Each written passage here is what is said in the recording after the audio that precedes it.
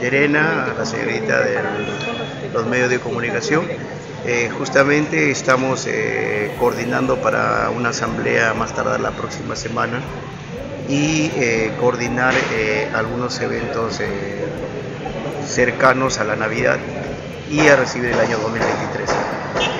pero bueno, hay una, hay una propuesta preliminar por parte de algunos trabajadores de tener una, una cena navideña y por ahí también otorgarles ciertos beneficios por parte del sindicato pero eh, como les vuelvo a reiterar, eh, vamos a tener una reunión en esta próxima semana para definir eh, mediante asamblea con todos los afiliados que pertenecen al sindicato de los trabajadores municipales de, la Municipal de Casarán. Bueno, siempre como es de conocimiento, este, secretario, de que casi todos los años se ha visto, bueno, la en la necesidad a veces o en la obligación o el compromiso, mejor dicho, para su canasta navideño.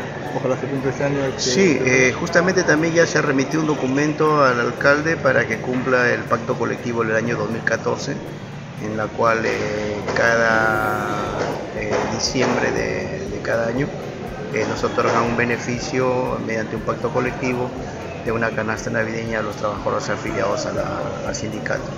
Esperemos de que también esta semana eh, vamos a coordinar con el gerente municipal y el alcalde y que tenga bien a cumplir con el pacto colectivo que siempre lo ha ido cumpliendo todos los años. Creo de que esa reunión también va a ser fructífera y en algún momento también saldremos a, comunicar a los trabajadores de los acuerdos que hayamos tomado con el alcalde de Casacán. Muchas gracias. Gracias.